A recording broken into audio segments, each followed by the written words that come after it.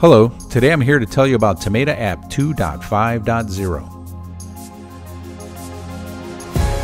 2.5.0 is designed specifically for a mobile-friendly experience for in-the-field use on a smartphone. The mobile-friendly version is designed to be responsive and intuitive from any device, adapting the app you're already familiar with to the screen size limitations of a smartphone. We've simplified the process of finding your assets, showing them on a map, viewing asset details, viewing alerts and service reminders, and the viewing and logging of maintenance.